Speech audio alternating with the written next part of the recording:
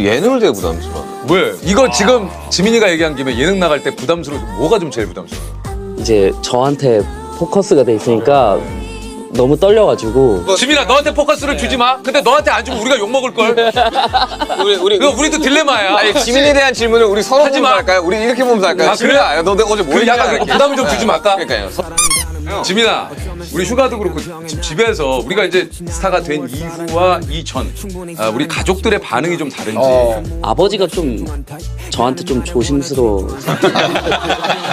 예전에는 잔소리 하시던 거를 음 이러고 방으로 들어가세요. 아니 그러면 얘그 휴가는 어때요? 집안에서 좀 달라요? 근데 저희는 막 딱히 하나도 안 말고 오히려 똑같아요.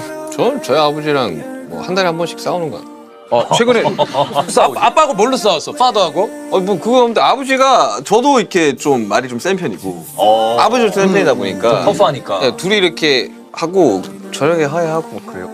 보통 그 자는 시간도 조금 약간 빠르면 한 3, 4시쯤이요. 아 저도 어제 4시. 새벽 4시쯤. 아 이게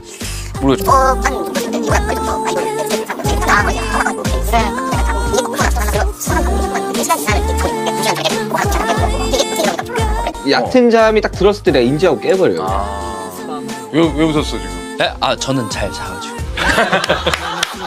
나 그, 내가 전제로 깔았잖아, 내가. 나만 어, 야, 그럴 거라고, 나만.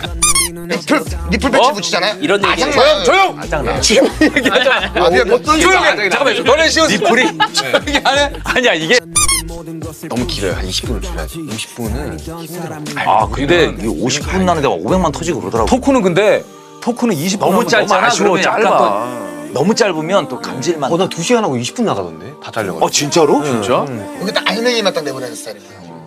야 근데 슈가 너도 대단한 게 사실 그 개인 채널 안 해도 지민아 배우님. 이유가 다 있지 않겠습니까 그게? 아니야. 야 아니야. 야 지민이가 시간을 잡네. 야 지민아. 얘생